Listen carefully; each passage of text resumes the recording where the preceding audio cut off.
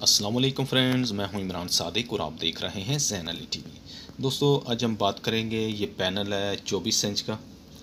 तो ये इसका मदरबोर्ड लगा हुआ है, ठीक है? तो ये इसका बैकलाइट ड्राइवर है, ठीक है? तो ये 12 वोल्ट की सप्लाई अडाप्टर पे ऑन होता है, ठीक है? ये 12 वोल्ट का अडाप्टर लगा होता है इसका। तो इसमें फॉल्ट क्या है कि इसकी बैकलाइट बिल्कुल ओके है, लेकिन इसका जो बैकलाइट ऑन नहीं हो रही, ठीक है? बैकलाइट को वोल्ट नहीं मिल रहे, ठीक है? ये इसमें प्रॉब्लम है। यानी कि मैंने चेक किया बैकलाइट इसकी बिल्कुल ठीक है।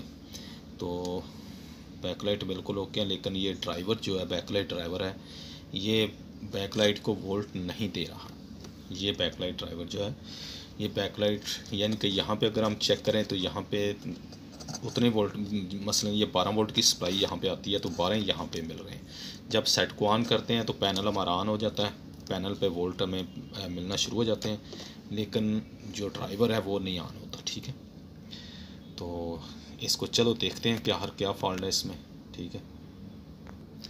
तो जी, जैसा कि आप देख सकते हैं मल्टीमीटर के ऊपर तो अगर हम यहाँ पे पैनल के वोल्ट चेक करें तो पैनल को वोल्ट मिल रहे हैं, ठीक है?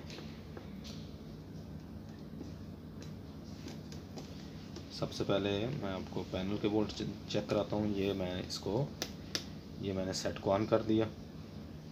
ये आप देख सकते हैं, पैनल को वोल्ट मिलना शुरू हो चुके हैं, ठीक है? लेकिन जब हम बैकलाइट के चेक करें तो बैकलाइट के ऊपर भी इतने ही वोल्ट मिल रहे हैं, जितने पैनल के हैं। बारह शरिया आठ, ठीक है? यानी कि पैनल हमारा जो सॉरी जो ड्राइवर है, वो आउटपुट हमें नहीं बैकलाइट को आउटपुट नहीं दे रहा। जिसकी वजह से हमारी बैकलाइट ऑन नहीं हो रही, ठीक है? तो इसका मसला क्या है? ये जो इसका आईसी है, ये ये ख़राब है, ठीक है?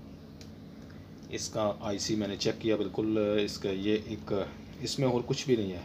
ये एक ट्रांजिस्टर वगैरह डायोड वगैरह कैपेसिटर लगे तो ये जो आईसी है, ये ख़राब है, जिसकी वजह से ये क्लिक नहीं करवाता, ठीक है?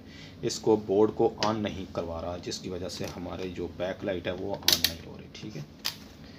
तो हम करेंगे क्या कि इसको रिमूव कर लेते हैं।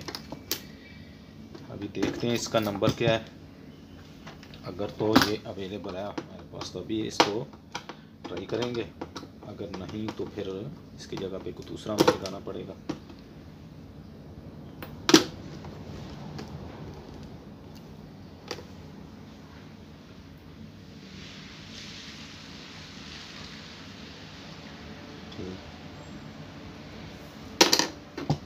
क्योंकि हमने ट्रांजिस्टर चेक किया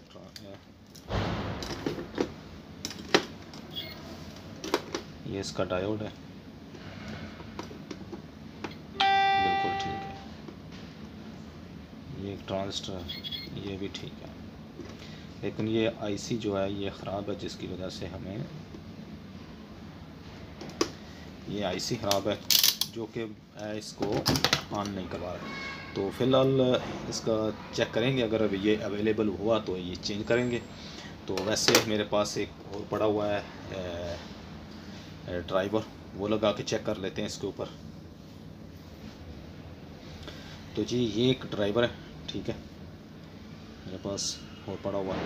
तो अब हम यहाँ पे इसको लगा के चेक करते हैं।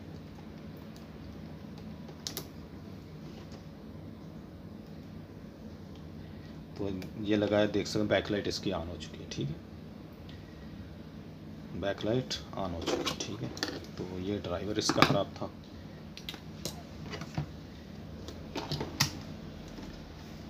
तो सेट हमारा ओके है बिल्कुल, ठीक है?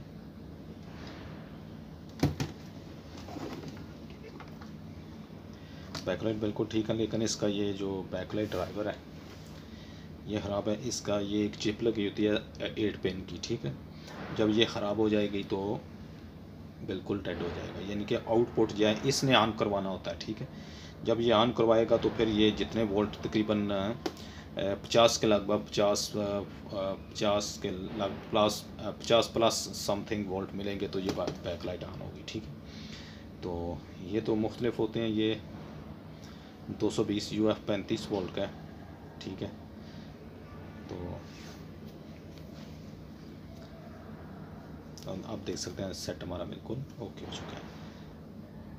तो इसका बस ये ड्राइवर ख़राब होने की वजह से ये फॉल्ट आ रहा था।